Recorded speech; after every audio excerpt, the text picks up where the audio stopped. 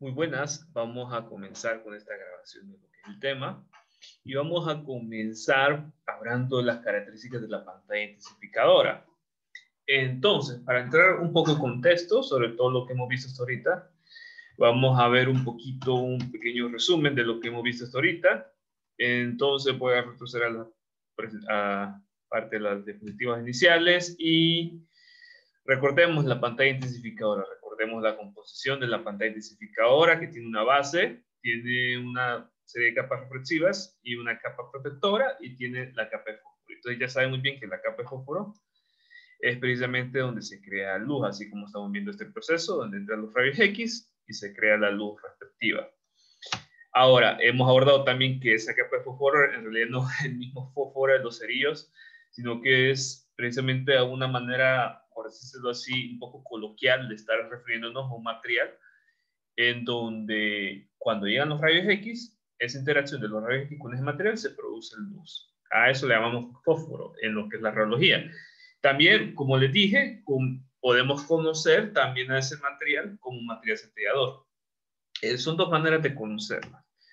Entonces, como les dije, esa pantalla intensificadora lo que crea es luz y literalmente esa luz nosotros la podemos percibir como el caso de este experimento, donde venimos nosotros, aperturamos la pantalla intensificadora, aquí es lo que ustedes están viendo, se emiten los rayos X, y en el momento donde se están emitiendo los rayos X, se produce la luz como están viendo ahí. Entonces, bueno, ¿y por qué se crea la luz? Eh, como les dije, esa luz se creaba por un proceso que ocurre a nivel atómico, donde vienen los rayos X, vienen, interaccionan con parte de los electrones que están en la capa más externa, en la, en la valencia, y eh, eventualmente los rayos X vienen, sacan ese electrón, pero debido a la estructura, a, la estructura molecular de esa capa de fósforo, de, lo que es el material de fósforo, ese electrón se ha obligado a tener que volver a lo que es el átomo. Y este proceso en donde viene el átomo y vuelve al, perdón, donde viene el electrón y vuelve a lo que es el átomo, este proceso lo que se hace es emitir luz eventualmente y los materiales que habíamos abordado, el tustano, del, el tustano de calcio, desde el sulfuro de zinc, el sulfato de plomo y las fibras raras, el gadolinio, lactanio y litio. Son los materiales que usualmente se pueden eh, estar compuestos a capa de fósforo. Y, ok, avanzándonos ya entonces, eh, recordando un, un, pasito aquí de lo que es la eficiencia de absorción y de eficiencia de conversión, donde simplemente la eficiencia de absorción es una comparación entre los rayos que ha absorbido la, eh, la pantalla intensificadora y los rayos que llega. Y la eficiencia de conversión, o sea, la luz que produce la pantalla intensificadora y los rayos X que ha absorbido. Entonces, recordándoles muy bien, estos procedimientos que se hacían, por ejemplo, vimos un ejemplo donde llevaban mis rayos X sobre la pantalla intensificadora en base al tostano de calcio, si el rayos X quedan capturados y entonces si nosotros estimábamos lo que era esa cantidad en lo que era la eficiencia de absorción, tomábamos los rayos capturados entre los rayos incidentes y lo multiplicábamos por 100 y esto nos da 10%. Y esto obviamente lo que significa es que la pantalla intensificadora captura el 10% de los rayos que llegan. Eh, tenemos la eficiencia de conversión, que simplemente eran los rayos X eh, que producían luz, precisamente tomábamos la luz producida, 5 fotones, entre los rayos capturados y multiplicábamos esto y ya nosotros estimamos lo que es la eficiencia de conversión. ¿Y qué significaba esto? Lo que significaba es que el 5% de todos los rayos capturados eh, producen la luz. Eso es lo que nos indicaba estos resultados. Entonces, súper útil con esto. Y lo que era el factor de intensificación también, que el factor de intensificación, como lo vimos en su momento, simplemente una relación entre lo que era la exposición eh, que nosotros requeríamos para lograr cierto ennegrecimiento de la imagen y era una comparativa de esa exposición, ya sea si, eh, ya sea si para la rafía se utilizó pantalla intensificadora y, para la, y si para la rafía se utilizó sin pantalla intensificadora. Entonces, como ambos necesitan diferentes grados de exposición para lograr el mismo ennegrecimiento de la imagen, entonces simplemente es una comparativa de ese grado de exposición. Ven ustedes entre la exposición requerida sin pantalla intensificadora y la exposición requerida con pantalla intensificadora. Entonces, ya habiéndonos puesto un poco en contexto, vamos a saltarnos y vamos ahora a lo que es las características ya de la pantalla identificadora. Entonces, empecemos a ver las características que nos van a estar nosotros diferenciando las pantallas identificadoras unas con otras. Comencemos con la primera. Entonces, comencemos con lo que es la velocidad. ¿Qué es la velocidad? Eh, básicamente la velocidad va a estar muy, mucho, eh, muy relacionada con lo que es el grado de exposición que vamos a necesitar nosotros para formar la grafía. Recuerden que diferentes grados de exposición dan diferentes grados de, de de imagen.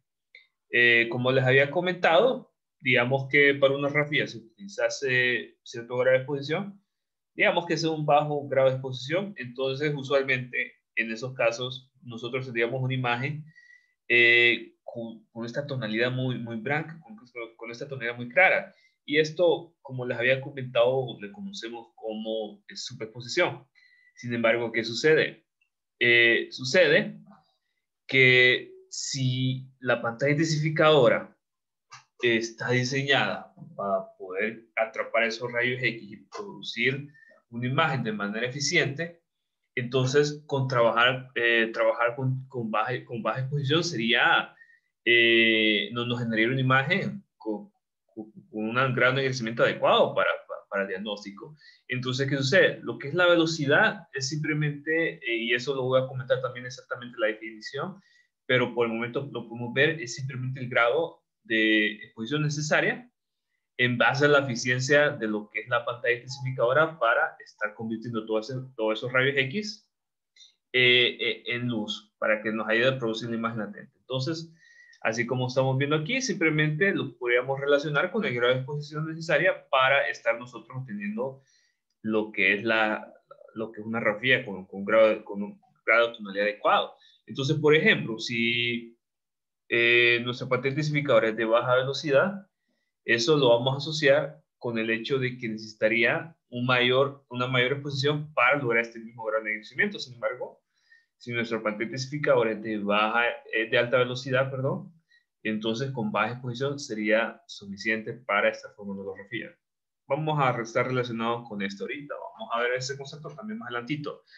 Ahora, vean lo siguiente la resolución espacial. Otro factor que, eh, vamos a nosotros diferenciar lo que es la, lo, que es la pantalla intensificadora es por la resolución espacial que genera la imagen. Aunque fíjense que hay una manera un poquito más fácil de comprender eso de resolución espacial y relacionemos la resolución espacial con el grado de velocidad que nosotros visualizamos la imagen. Aquí nosotros vemos dos fotografías de una mano. Una eh, con bastante borrosidad, como están viendo aquí, y otra con menor grado de borrosidad. Entonces, asociemos lo que es la resolución espacial con el grado de borrosidad que se observa en la imagen. Ahora, eh, entonces, una de las maneras que nosotros vamos a estar eh, caracterizando también lo que son las pantallas especificadoras es en base a lo que es la, la, resolución espacial que genera la imagen cuando se utiliza con ciertas pantallas especificadoras. Entonces, podemos ir relacionando también este concepto. Ahora, fíjense que hay una manera un poquito, eh, hay una manera exacta en que nosotros podemos estar estimando lo que es el grado de velocidad o, resolución espacial que va a estar viendo la imagen. Y es a través de ese concepto llamado frecuencia espacial. Eh, ese concepto se, se, mira a lo mejor un poquito matemático, eh, pero en realidad es muy útil para estar identificando cuánto va a ser el grado de velocidad o resolución espacial que vamos a nosotros estar visualizando en diferentes grafías. Entonces, vean ustedes, la frecuencia espacial, y así como estamos viendo aquí, se va a catalogar como, se va, se va a representar como par de líneas entre expresor de, de par de líneas. ¿Qué es todo esto? Vean, yo sé que esto es, eh, eh, puede ser un poquito difícil de comprender a, a, primera instancia, pero veamos aquí. Vamos a, vamos a, a tratar de, de comprender todo esto. Y vean, fíjense muy bien. Imaginemos un sistema de barras y espacios, así como están viendo aquí, de una barra, mm, una barra de color negro y, otro espacio entre diferentes sistemas de barras, así como estamos viendo aquí. Tenemos, aquí una barra con cierto espesor, un espacio con cierta distancia entre una barra y otra barra, y tenemos otra barra nuevamente aquí. Y vean, y luego vamos visualizando más barras, y, y ahora resulta que la barra que estamos visualizando ahora tiene un menor espesor, y el espacio entre una barra y otra barra tiene menor espesor. Y así vean, por ejemplo, aquí estamos viendo un sistema, una barra con un menor espesor y, otro, y un sistema de espacio entre las dos barras con un menor espesor. Ahora, ¿qué sucede aquí? Eh, vamos a llamar lo que es el espesor de par de líneas o eh, como el espesor que toma eh, esta barra y el espacio entre las dos barras. Eso lo vamos a llamar como espesor de par de líneas. Y vamos a llamar par de líneas a este conjunto de una línea oscura y un, y un espacio. Están viendo aquí, esto lo vamos a llamar como par de líneas.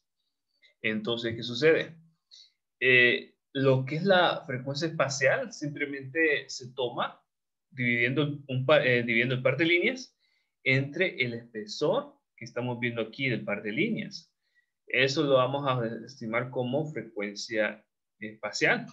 Entonces vean aquí para el primer ejemplo. Digamos que queramos determinar la frecuencia espacial para, este, para el primer caso, este, este esta parte de aquí. Como la voy, a resaltar, aquí. Vamos a ver, lo voy, voy a resaltar aquí. Tomemos para este primer caso, nada más. Este primer caso. Entonces, vean, vamos a tomar eh, el par de líneas, aquí este par de líneas y el espesor que va a ser este par de líneas. Entonces, en este caso, vean que la barra tiene un espesor de 10 milímetros y el espacio tiene un, espesor de 10 milímetros. Si sumamos esto, digamos 20 milímetros entre ese espesor. Tomemos ese 20 milímetros y tomemos un par de líneas simplemente para tomar esta idea.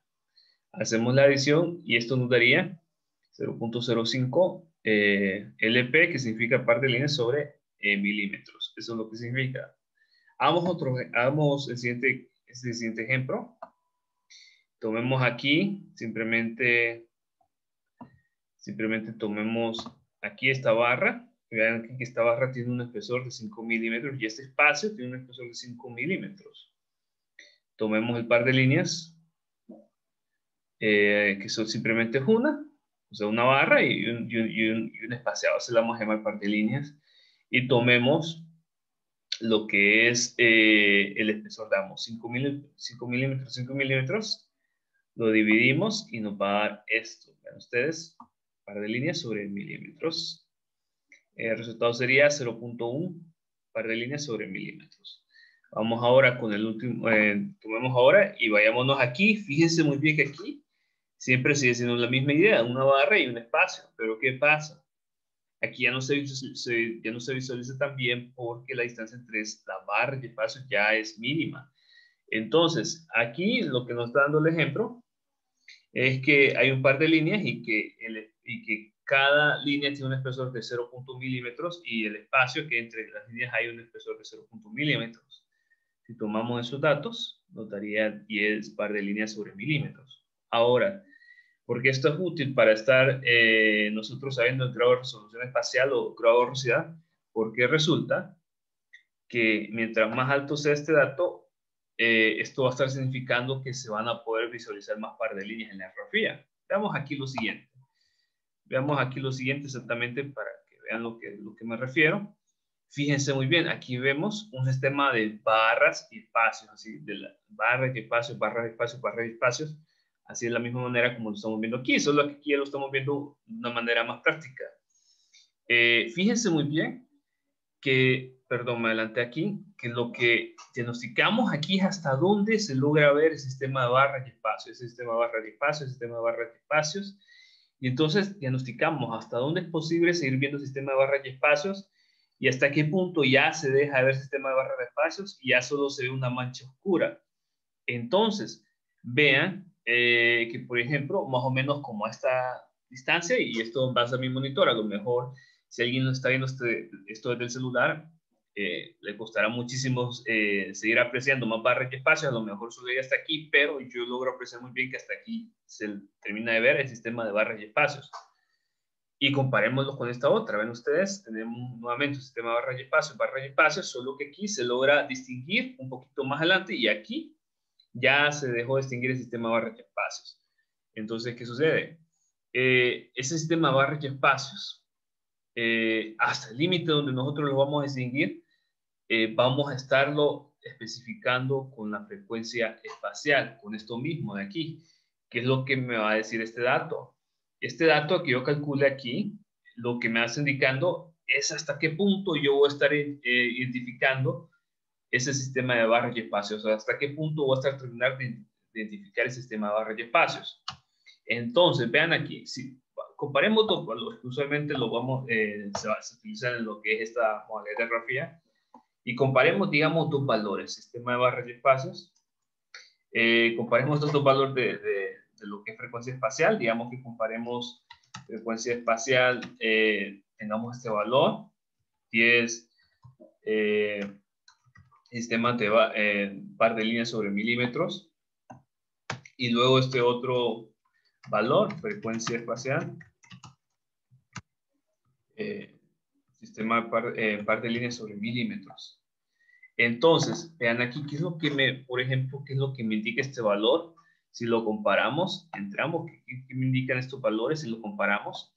Este, esto lo que me indica es que este sistema, si, o sea, si yo logro ver hasta aquí la, la, el sistema de, de líneas y espacios, si por ejemplo simplemente me da este valor, esto es lo que me indica, por ejemplo, que este, eh, eh, que cualquier grafía que obtenga este valor de, de, frecuencia espacial va a tener una, un grado de velocidad más limitado que si lo comparamos con este otro valor de 15 par de líneas sobre milímetros.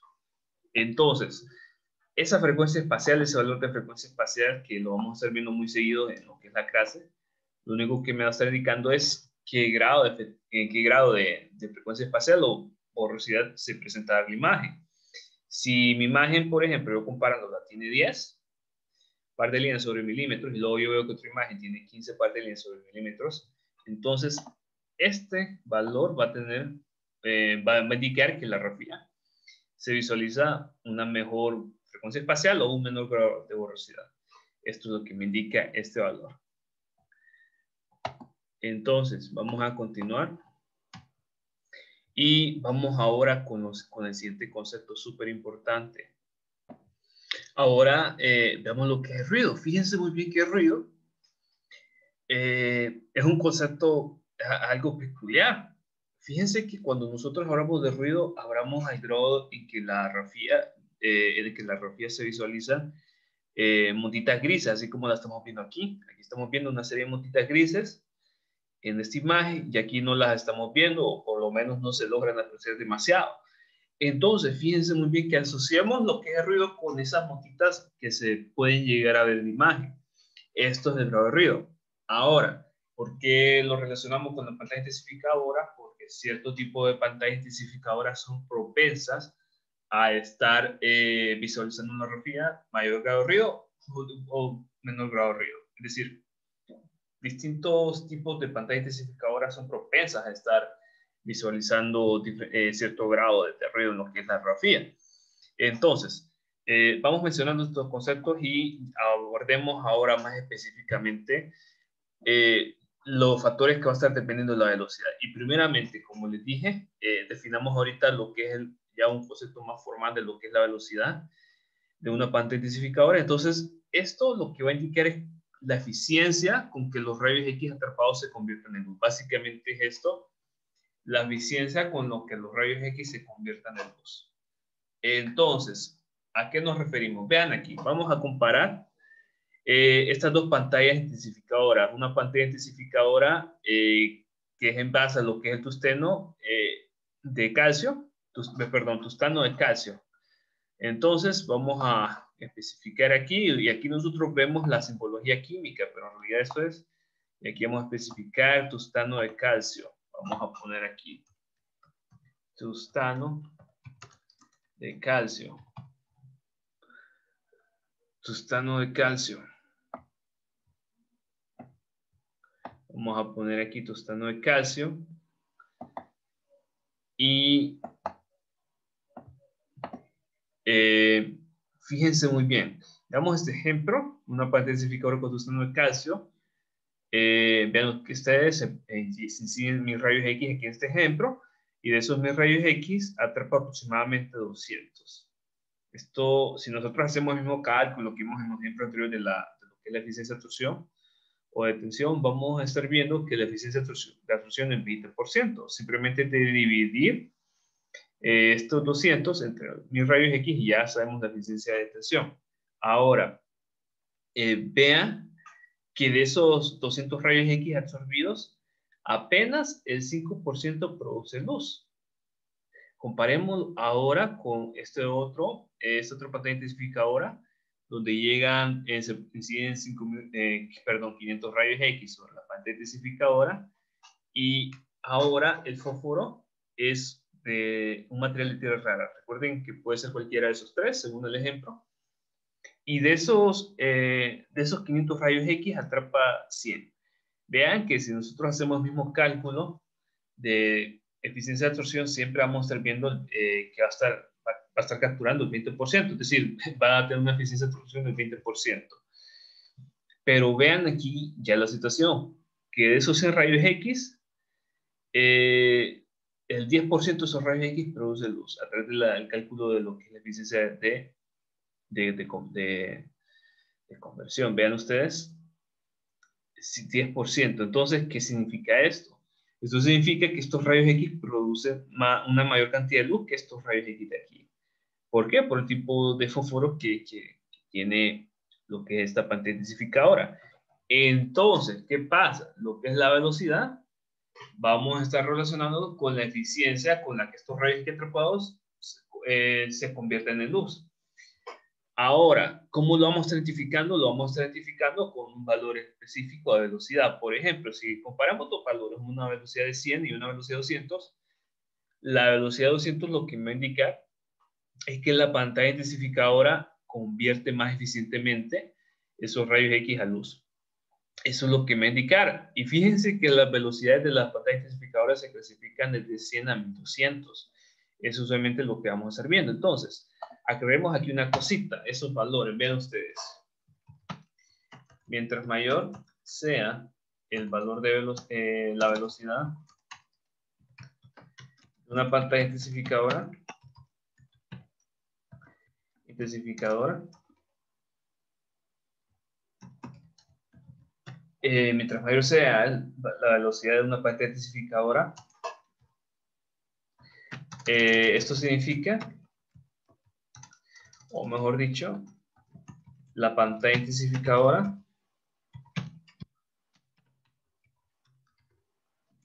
eh, produce luz más eficientemente. Eficientemente con los rayos X que atrapa.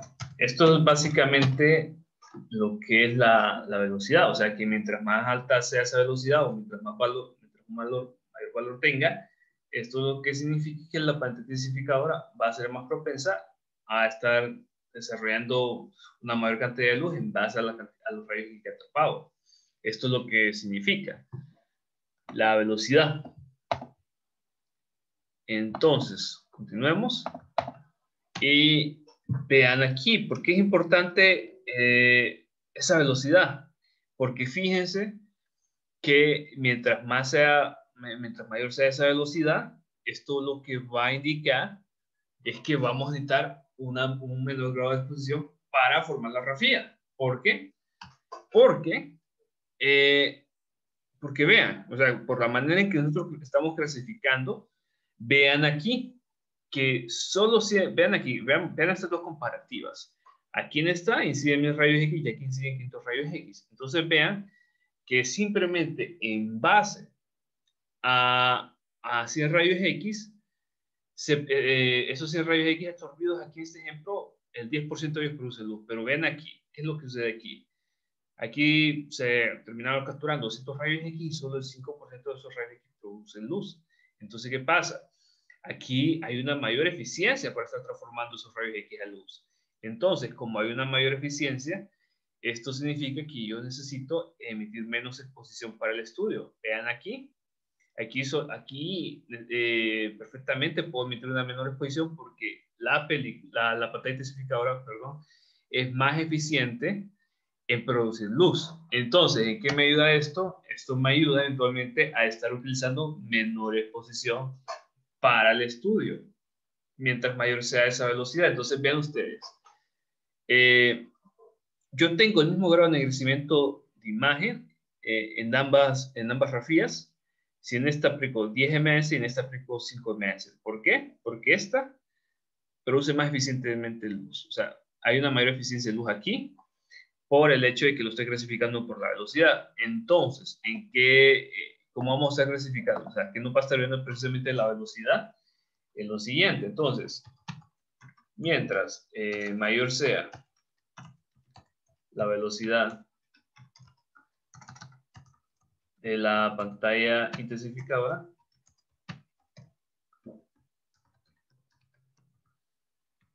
menor exposición se requerirá para el estudio. Para el estudio. Esto es lo que me indica este valor. O sea que mientras más alta sea esa velocidad, esto es lo que me indica que esa pantalla intensificadora va a ocupar menos exposición para estar produciendo luz. Eso es lo que me indica. Y observen que caso viceversa.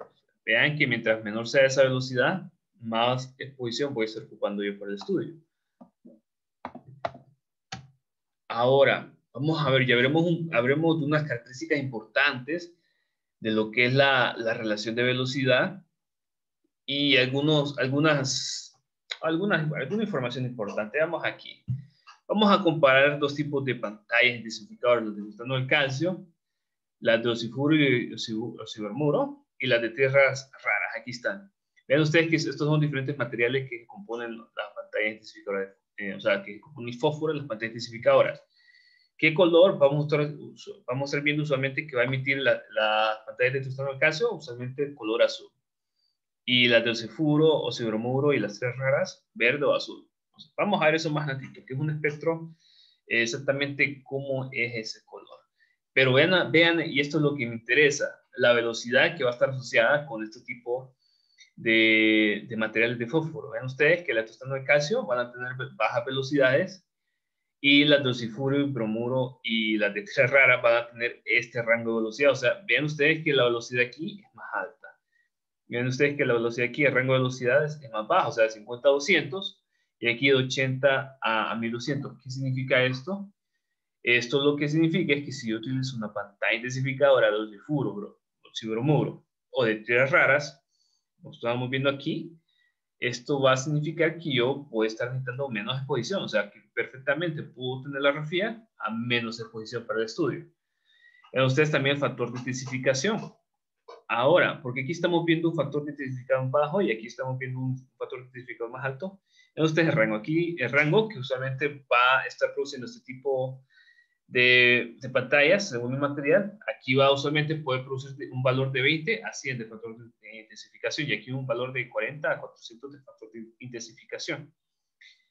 Ahora, eh, ¿qué es lo que me indica esto? Obviamente lo que me indica es que como aquí eh, hay una mayor eficiencia debido, vean ustedes, la velocidad, se esa velocidad con mayor eficiencia para producir luz.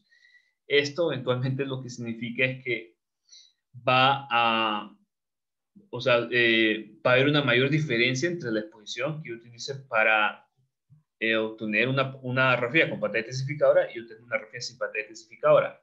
Esto es actualmente bueno porque yo perfectamente puedo trabajar con menor exposición para el estudio. Y finalmente, vean la resolución espacial, se mantienen ambas, o sea que la resolución espacial, eh, aquí ven, par de líneas sobre milímetros, eh, va a ser prácticamente igual en ambas. Sea que no, no se va a distinguir por el material, no va a estar variando por material. Ahora, vamos y abordemos ahora lo que es el ruido de la pantalla intensificadora. Entonces, fíjense que lo que es el grado de ruido también va a estar susceptible a cómo se, está, cómo se va a componer esa pantalla intensificadora. Entonces, vean lo siguiente. Eh, como les había comentado, nosotros vamos a estar visualizando diferentes grados de ruido en diferentes tipos de pantallas intensificadoras. Entonces, entonces, ¿en qué eh, tipo de pantalla intensificadora yo voy eh, a estar viendo más ruido o por lo menos a que mi imagen radiográfica sea más propensa a estar viéndose más ruido, vean lo siguiente. Eh, usualmente, si la eficiencia de conversión es alta y, en relación a esto la cantidad de rayos X absorbidos es baja, entonces yo voy a estar viendo más ruido en la radiografía. Y si, por ejemplo, mi eficiencia de conversión es baja y aumenta ligeramente lo que son los, los rayos X absorbidos, entonces yo voy a estar viendo menos ruido. Entonces, en resumen, vamos a apuntar eso aquí. Vean aquí, pasa lo siguiente. Entonces, pasa lo siguiente. Entonces, fíjense muy bien. Una eficiencia de conversión, conversión eh, alta, pero, eh, una cantidad una cantidad de rayos X, una cantidad de rayos X absorbidos muy baja. Y aquí vamos a poner en vez de pero y una, así está mejor. Y una cantidad de rayos X muy baja. Esto eventualmente lo que hace es que la rafía sea, la rafía sea más propensa a estar menos con mayor grado de ruido.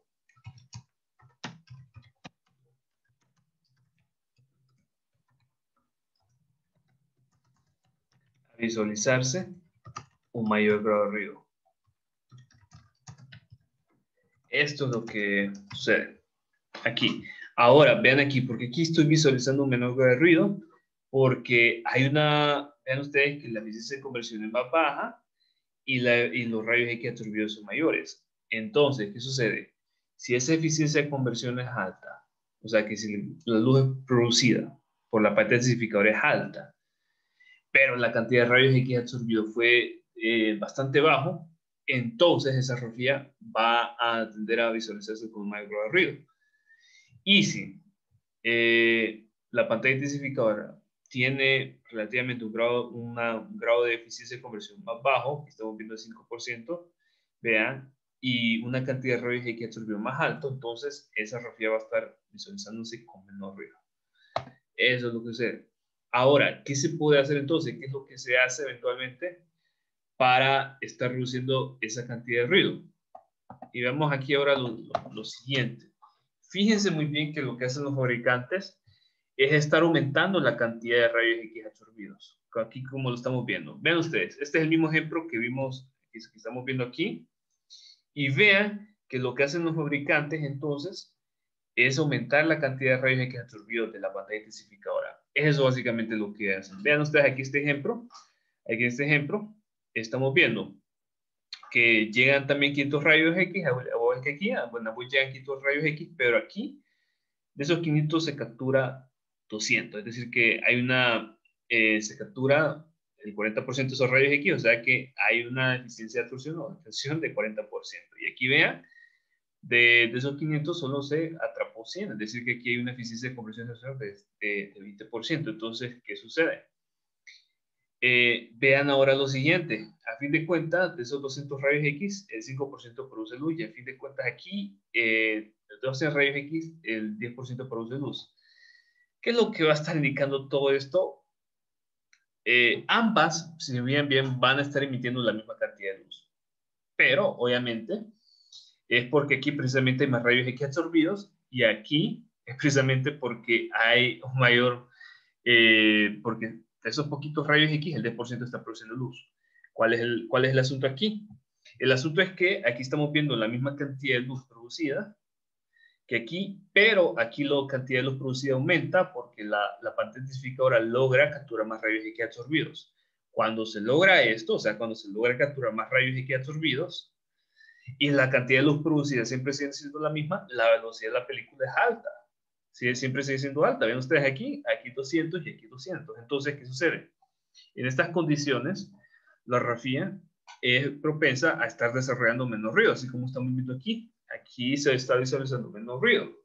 Entonces, ¿qué, es lo que se tiene que considerar para estas situaciones? Para eh, querer que nuestra pantalla intensificadora tenga una velocidad alta, pero a, a la vez no, no, no sea propensa a estar desarrollando ruido, vean que lo que se toma primeramente es el número atómico del fósforo. ¿Por qué? Porque el número atómico, eh, un número atómico alto captura más rayos X. Y aquí lo vamos a señalar.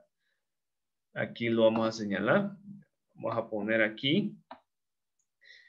Ah, no, más fácil. Simplemente vamos a poner aquí. Entonces, un mayor número atómico del fósforo. Vamos a poner un mayor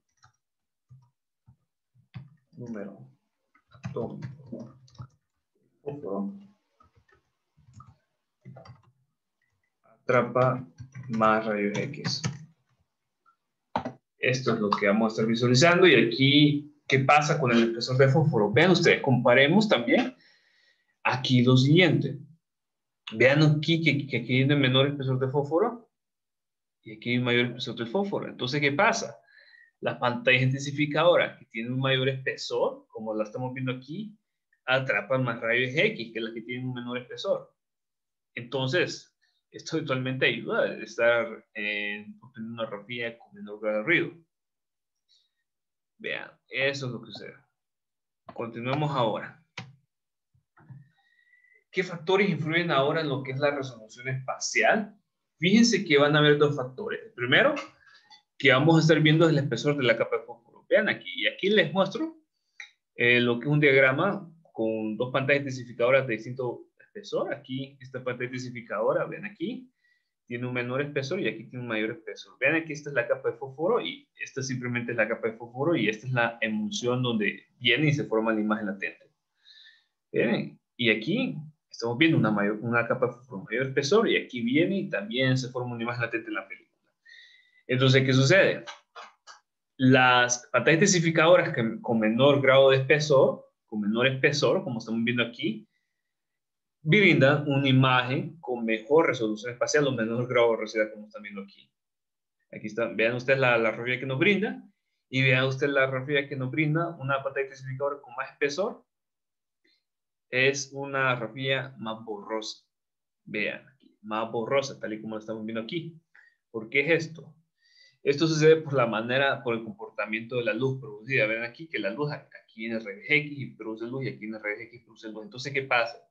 Esa luz, vean, vean ustedes que se, se, dispersa, o sea, la luz se crea en un punto específico y esa luz se dispersa hacia la emulsión. Pero entonces, ¿qué sucede?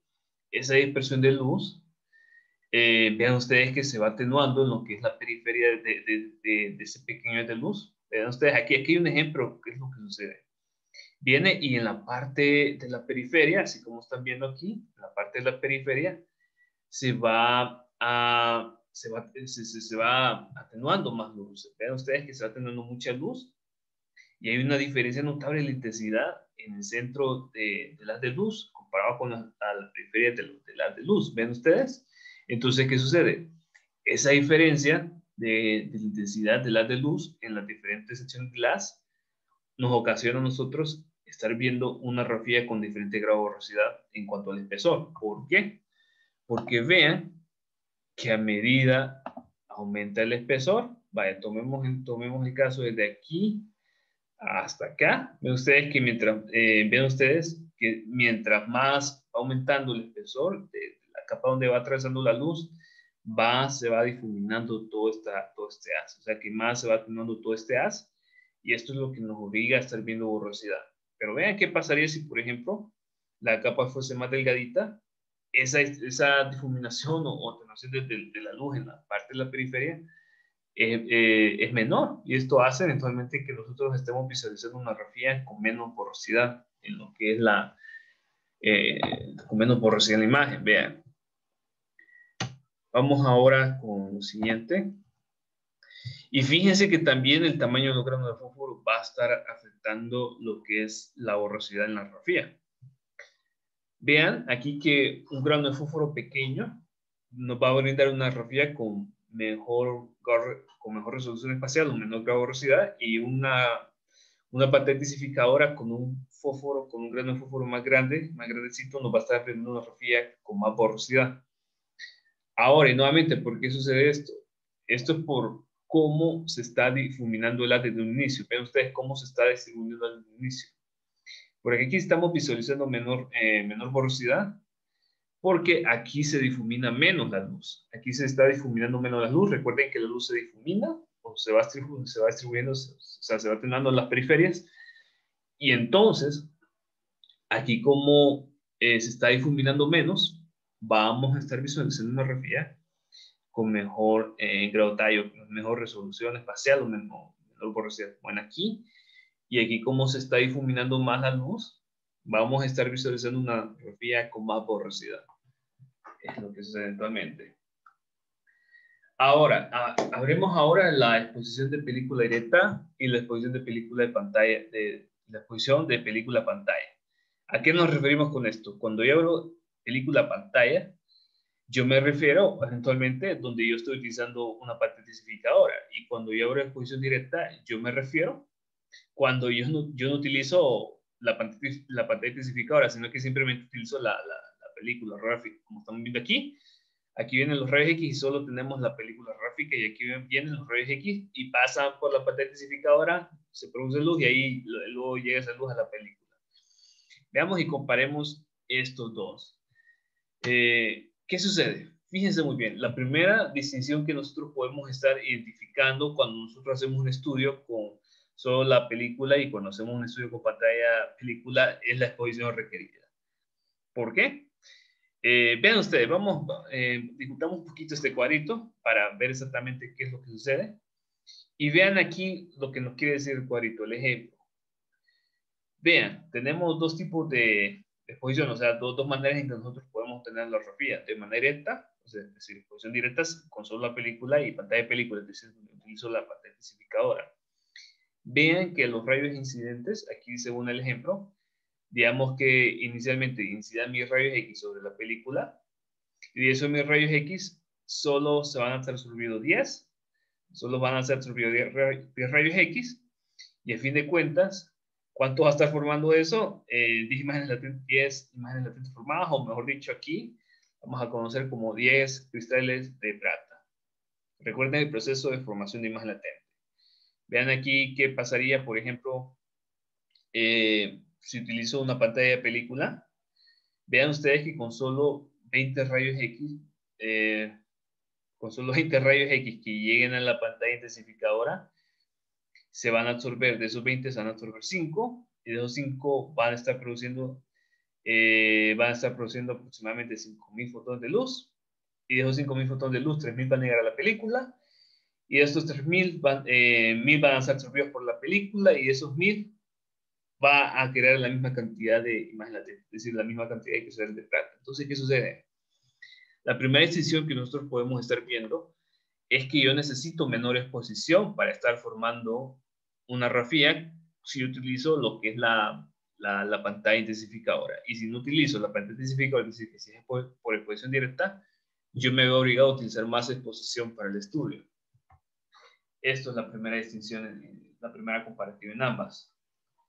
Lo segundo, eh, una desventaja de lo que es la pantalla intensificadora es que yo voy a estar visualizando más borrosidad en la grafía, comparándola con una exposición directa. Vean ustedes que la exposición directa me brinda a mí una imagen con menos borrosidad y una de película pantalla me brinda a mí una imagen con más borrosidad. Esa es una desventaja en cuanto a comparar exposición directa y, y una exposición película pantalla. Ahora, ¿por qué vemos eh, en lo que es la, porque vemos en una rafía obtenida con, con pantalla intensificadora más borrosidad y en la exposición directa vemos menos borrosidad? Es precisamente por la manera en que se comporta la luz. Como les dije, la luz viene, atraviesa la, eh, lo que es el material. En este caso, la capa, toda la capa de, de, de fósforo y se va dispersando muchísimo, se va dispersando, se va pasando aquí en las periferias, como les había comentado, y entonces esto nos va a producir porosidad. ¿Qué pasa en la exposición directa? No hay este proceso, o sea, no, no, no, no, no, no hay este proceso intermedio, y yo simplemente puedo estar visualizando directamente la grafía sin que haya una pantalla intensificadora, y, es, y ahí yo me evito ese proceso que crea borrosidad. Eh, eso es lo que sucede.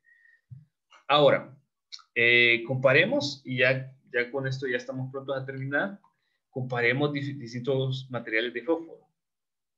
Comparemos distintos materiales de fósforo. Entonces, vamos, comparemos lo que es el calcio. Eh, aquí eh, concretamente vamos a comparar estos dos.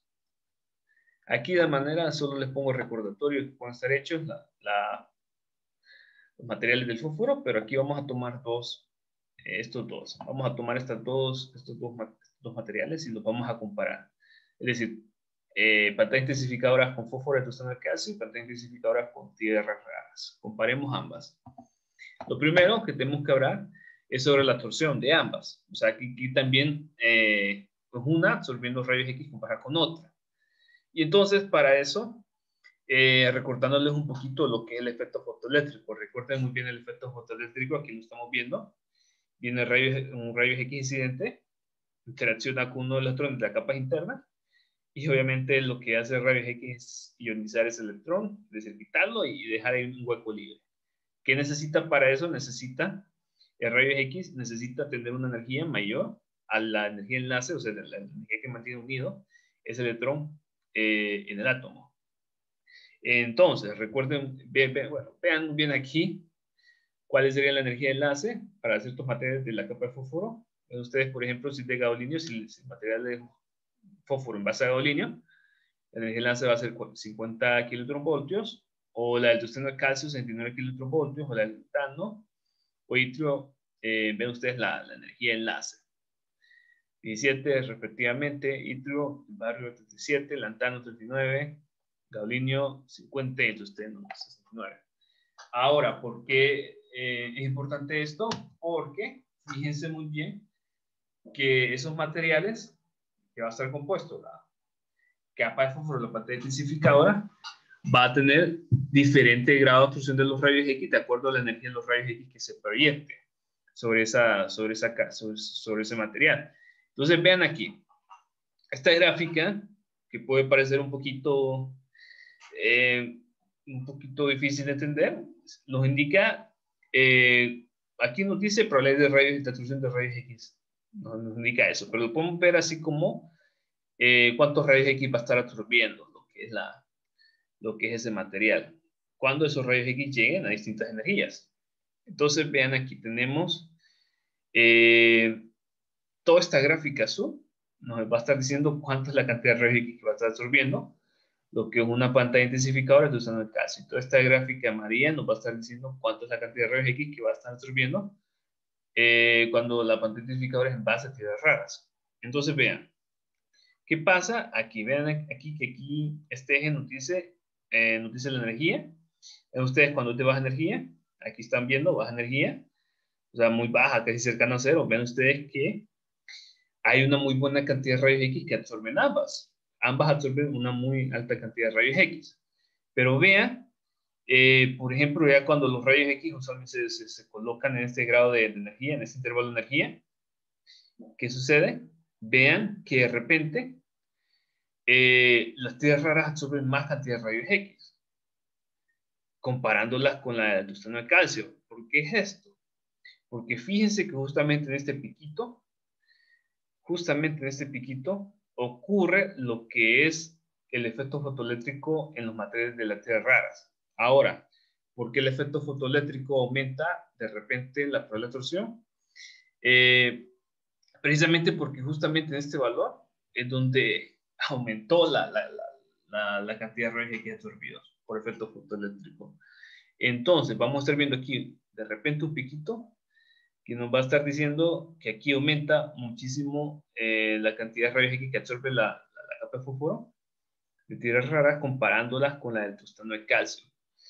Ahora, vean ustedes otra situación, que justamente en este valor, en este rango de, rayos X, en este rango de energía de rayos X es la que utilizamos nosotros para lo que es la grafía.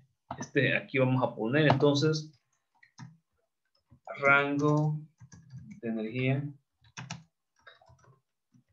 de rayos X para obtener una grafía.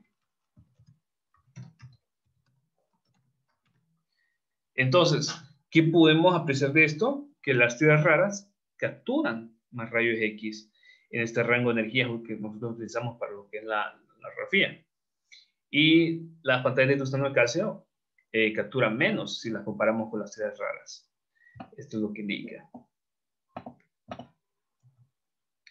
Ahora, eh, veamos lo siguiente, lo que son los diferentes materiales de fósforo. Eh, vean aquí que el tostano de calcio aproximadamente tiene una eficiencia de conversión de 5%. Es decir, que, el 5, que, que solo el 5% de los rayos que captura esta pantalla se convierte en luz. Y las tierras raras tienen una eficiencia de conversión de 20%. Entonces, esto significa que cerca del 20% de los rayos que captura, eh, que captura la pantalla intensificadora se convierten en luz. Y los grados de velocidades. Ven ustedes que la, el gusano de calcio se va a atribuir a velocidades bajas y materiales de tierras raras se van a atribuir a velocidades altas.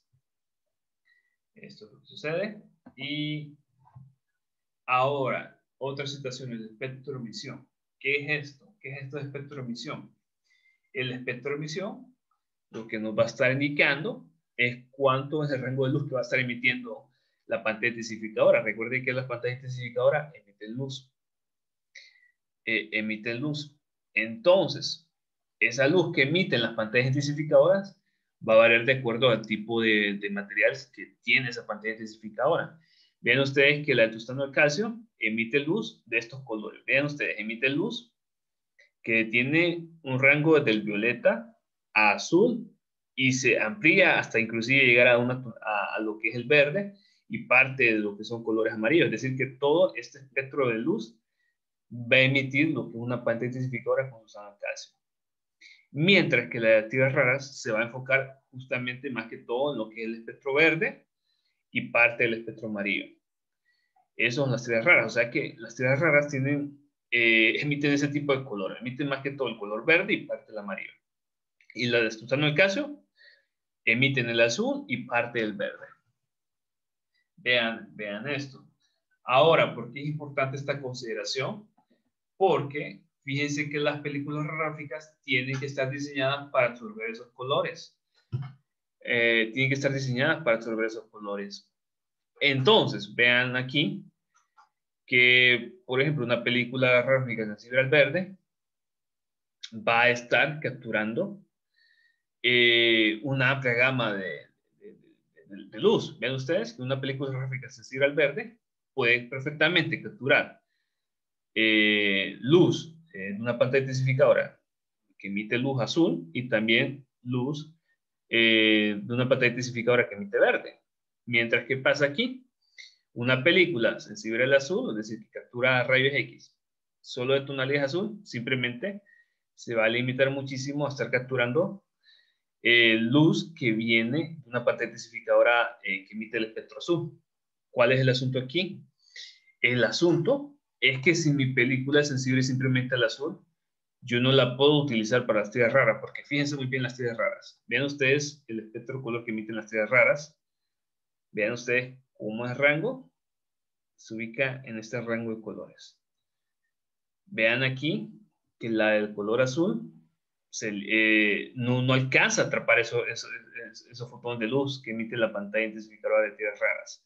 No, simplemente no los atrapa. Entonces, no puede ser factible en el estudio eh, sin película es simplemente no, no, no, sensible a la, a, la, luz que emite las estrellas raras. Entonces, ¿qué es lo que podemos concluir aquí sobre esto? Que fíjense que para las estrellas raras,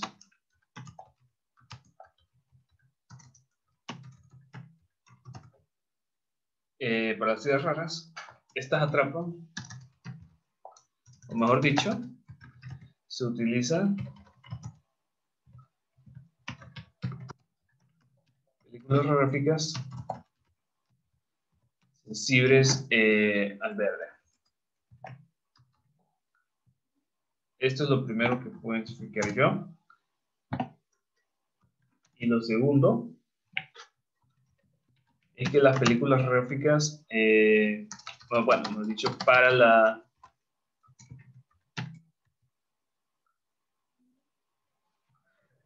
para las tallas intensificadoras. Teno, tools, teno de calcio. Eh, para el sosteno de calcio, se puede utilizar se puede utilizar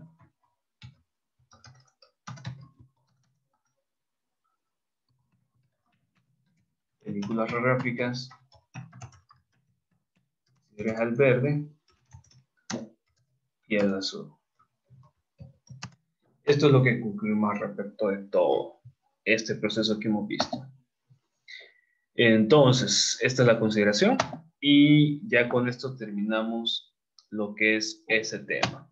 Entonces, bueno, espero que esta explicación les haya servido en su estudio y nos vemos para la, la próxima reunión programada de teletrabajo.